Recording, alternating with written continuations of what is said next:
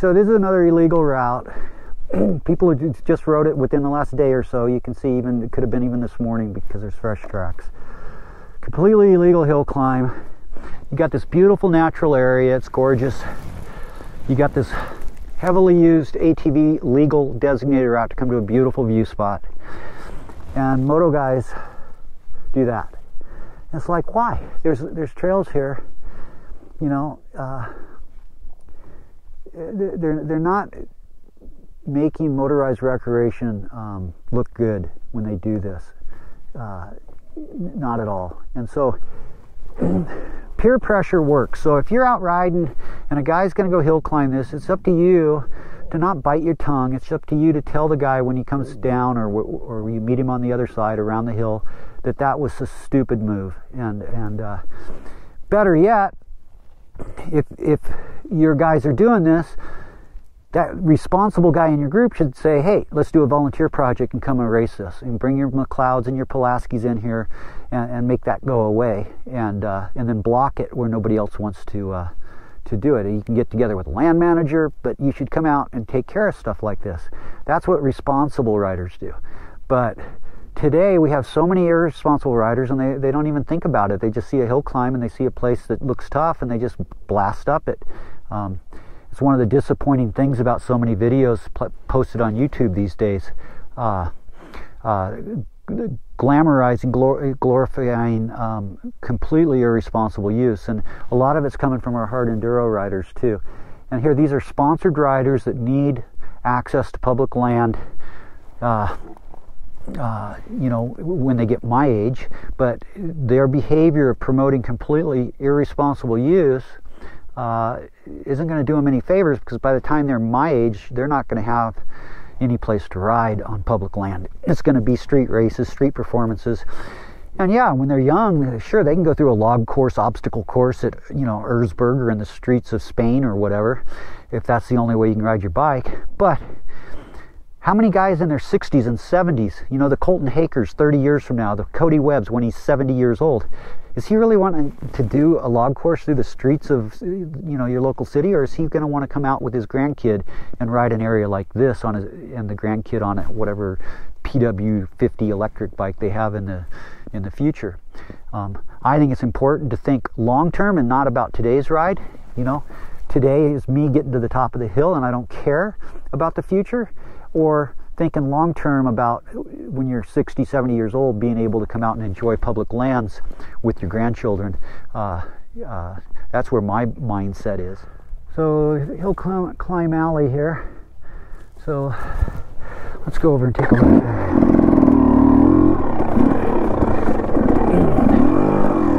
So, here's what we're dealing with no motor vehicles. They come out and they sign it. So that one over there is signed. Okay. Again, what's that say? No motor vehicles. Yet today, riders th- see that as a neon sign that says "Climb me" when it says no motor vehicles.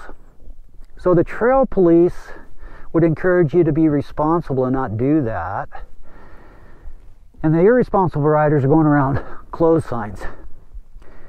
So, and then saying that I'm trying to describe this as my trails. I hardly ever even come here. I don't think I've been here for three, maybe four years. Um, I don't consider them my trails, but this is where you learn to be a responsible rider. But when you see this and when you think it's okay because your buddies do that, go right around the closed signs, hill climb, uh, and then you bring that to the pristine backcountry trails, this type of riding. You don't volunteer.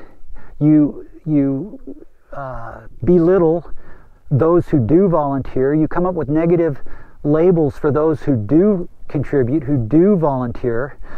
Uh, people that you say don't want to share their trails. They don't want to share their trails because you've demonstrated yourself to be an irresponsible rider who has never given back in any way, shape, or form. The only thing you've ever done is put pressure on uh, land managers or private property owners because of your irresponsible riding uh, to close trails.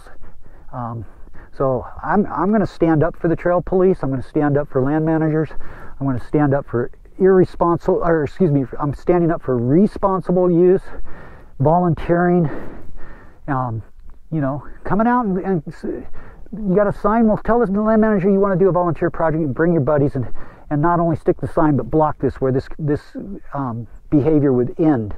Um, don't be the guy that comes out here and breaks the sign and continues to hill climb this uh, and, and you know cause a, a negative uh, situation here. Um, uh, tur- you know, turn your passion into a to a uh, a positive contribution to our sport to make us look good, not not uh, um, demonstrate how irresponsible moto riders are.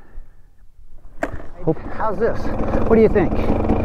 Do you see the problem here, guys? Do you see it?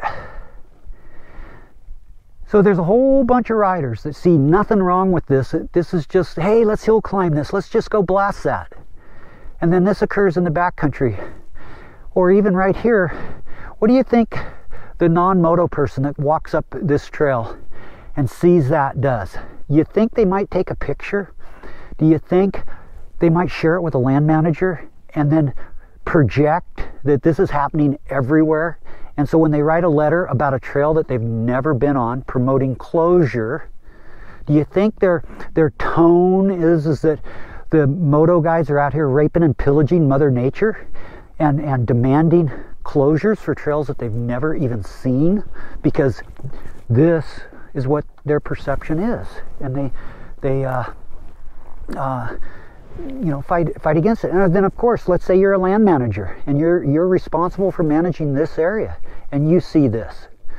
Are you inclined to work with the local club who are good stewards or the local volunteer advocate when you have this you know well now instead of building a new trail and working with the club the land manager that is to build new stuff new sustainable stuff the inclination is is more about fixing this stuff. Uh, and and then you burn out volunteers because instead of getting more mileage they're out here closing off this stuff. Well if this didn't occur then the the people that are advocating for new trails, um, uh, including people within the agency, the land manager, are going to be out spending time building new trails to improve the opportunity within a network, you know, a, a, an area, as opposed to wasting time and money to prevent this kind of uh, resource damage. So, um, you know, I think we need more trail police. I think we need more people that, that take a possessive attitude and, and don't want to see this uh, occurring within their designated network of trails. Uh, uh, I think more people need to step up within riding groups and, and when somebody in your group goes to hill climb that that you uh, make it clear that it's unacceptable. You know, get them out here where they have to do volunteer work. The guys in your group that are uh, engaged in grossly irresponsible riding, uh, they get away with it because people in their peer group don't say anything. You know, and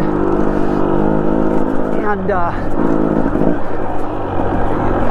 you know, speak up. Tell them that that's, you know, unacceptable. But no, no, no. Who gets blackballed? Oh, I don't want to do any trail work. So you uh, you don't show up to a trail project because that guy works. All he does is trail work, and I don't want to do trail work. So you blackball the guy out here working his butt off, and you ride with the guy um, tearing it all up. Uh, to me, it's it's it's backwards. Um, you know, it just doesn't make any sense to me.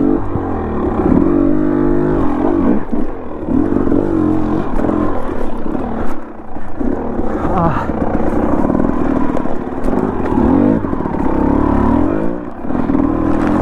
but because I am known for doing trail work, I am blackballed by those irresponsible riders who never want to give back, who never want to contribute. Oh, he all he does is work. Like I want to do more work. No, I'd like to see some help, so that I could ride more and work less. But when when my uh, there's an off trail, the intersection's up here, which is a sustainable grade. You can see somebody took the time to block that one. Now that needs to be blocked, and that needs to be blocked. Fortunately, there is some timber with more than one guy. We could easily block that off and put them back on the sustainable grade. But again, if you look at it from my point of view, trail volunteer, I look at this and see work. Okay, and I look at it and I go, I'm by myself, I can't move the logs. So it means I got to go find, you know, two or three guys, get them back in here that are like minded. We got to bring our chainsaws, we got to drag the trees and block this off. Um, so it just looks like another work day to me.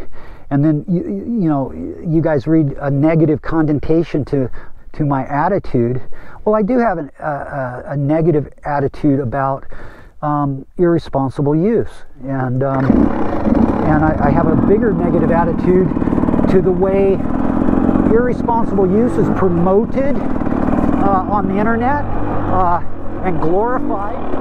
I think what happens is uh, guys will ride an area like this with no concern. They don't have a responsible ride leader uh, who's teaching them good riding etiquette. Uh, you know, as simple as what we saw, or when you come to another group, I'm by myself, so I hold up zero.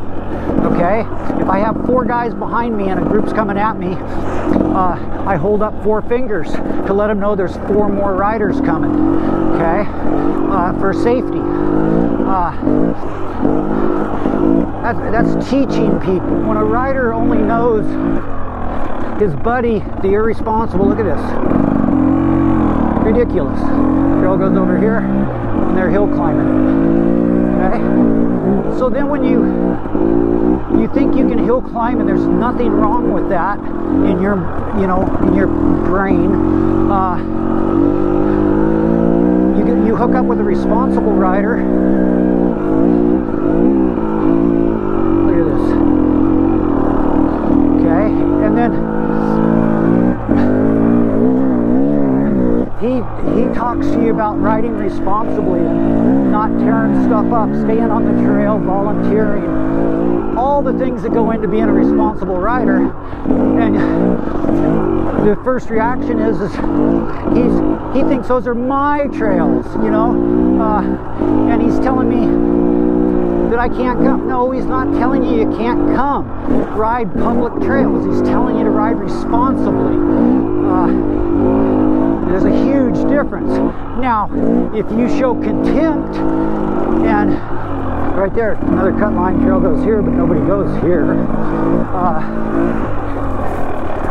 you know, if you show contempt, uh, straight up.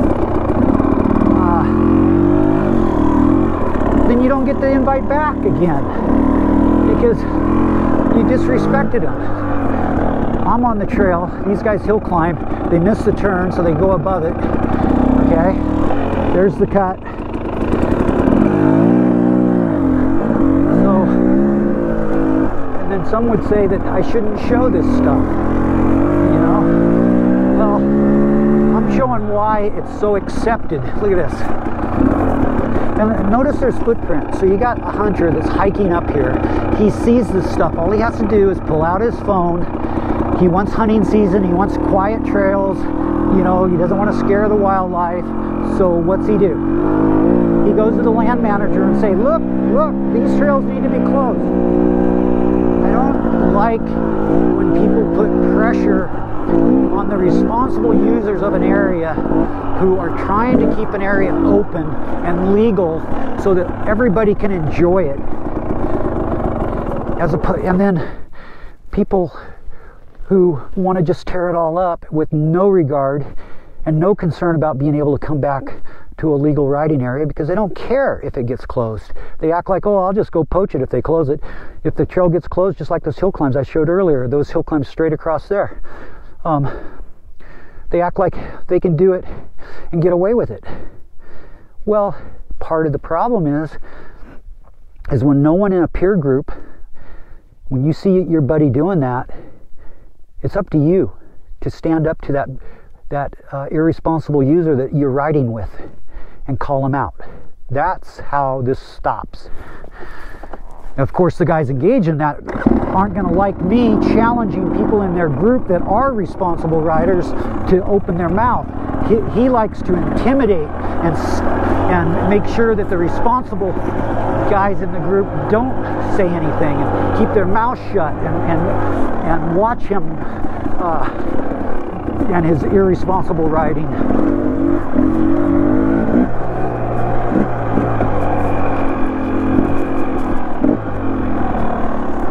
And just like you saw right there, somebody um, drug brush to try to block a cut line. Well, that person, that volunteer, uh, the land manager, wouldn't it be better to have them out there building a new trail because they don't have to waste time fixing all this, these uh, uh, you know areas that people are cutting and going off trail? I think it's way better and way more productive to have land managers building new trail and um, you know, not being out here having to cut or, or fix all the cut lines and take care of all the irresponsible use that goes on. It, by the end of a season, they've got no budget, they got no personnel to fix it all.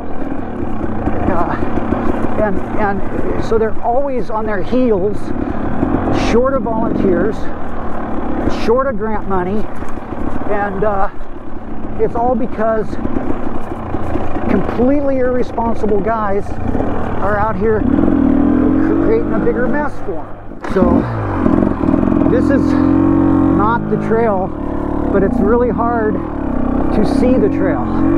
The trail is right here. Nobody's used it in such a time the grass has grown over it. But they are cutting the trail in order to hill climb. So I'm actually on the trail that you can, can't even find anymore and uh, now I'm back on it.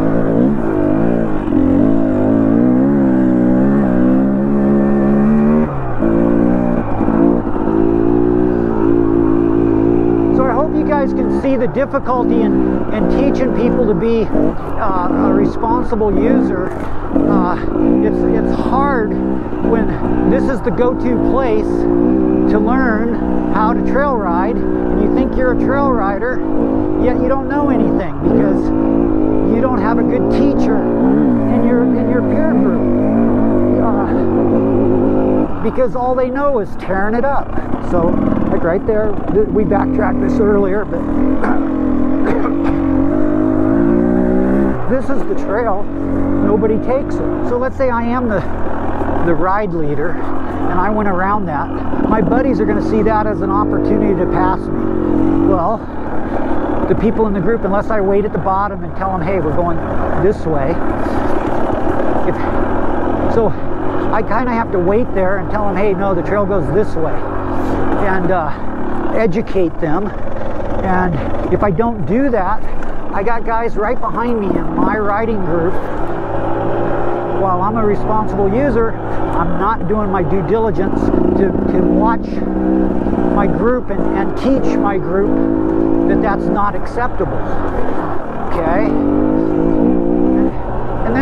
My group never realizes that they're an irresponsible rider. And then, of course, they, they get their tampon in a, in a wad when a responsible rider calls them out years later because they think, well, I've been riding for 20 years. I've never heard that. Uh, I'm a responsible rider. No, you've been riding irresponsible the whole time and uh, uh, you just never got called out. And the message isn't to tell you not to ride. The message is, is to tell you to ride responsibly and, and be part of the solution, not part of the problem of keeping trails open so everybody can enjoy them. When, when I get a trail legally designated, you know, my trail, the trail I built, the trail that I go to the Forest Service, the trail that I work through NEPA, the trail that we get letters for grants, the trail that I arrange volunteers to, to uh, you know, to build it. Uh, well, how is that my trail when I'm getting it designated for public use? where everybody can ride my trail. Uh, I'd say it's anything but. It's the, the least selfish thing I can do. Sadly, everything we're talking about, the odds of the message ever reaching people that need to hear it is zero without help from responsible users telling their friends and sharing this and telling people that they need to listen uh, to this, you know, and and then more so taking the message and and you know applying peer pressure. The Problem of uh, trying to teach responsible use and trying to you know give riding tips uh, is that frequently you end up preaching to the choir